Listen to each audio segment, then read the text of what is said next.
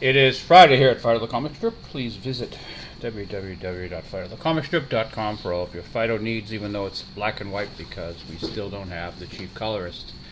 And where are they on Fridays? And if chief colorist was here, she'd say in the bar, and yes, it's in the bar. All right, we have Phydeaux, Felicia, Dino, Bo. Phydeaux says, "Hey, that's my chair. Prove it. I marked it. Ew." And I thought that was cat that I've been smelling.